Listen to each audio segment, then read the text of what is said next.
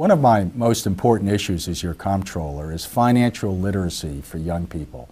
I believe every high school graduate in Maryland should have to take a standalone course that will teach them the basics of budgets, credit, debt, compound interest, how to take advantage of our great system to create wealth and prosperity for themselves, and how to avoid bad economic decisions that hurt their employment chances. So if you agree with me, I hope you'll contact your local school board and your local uh, legislators and urge them to advocate for financial literacy for young people. Six jurisdictions in Maryland already have this. We hope everyone else will join this bipartisan movement for financial literacy. In these tough economic times, our young people in Maryland need financial literacy more than ever.